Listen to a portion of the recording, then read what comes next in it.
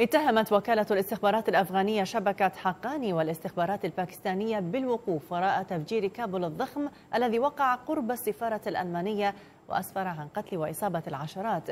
فيما ذكرت وسائل إعلام أفغانية وأخرى عربية في وقت سابق أن تنظيم داعش الإرهابي أعلن مسؤوليته عن التفجير. وقد أسفر الهجوم الإرهابي الذي وقع في العاصمة كابول بحسب ما أكدت وزارة الصحة الأفغانية عن قتل 90 مدنيا وجرح 380 آخرين.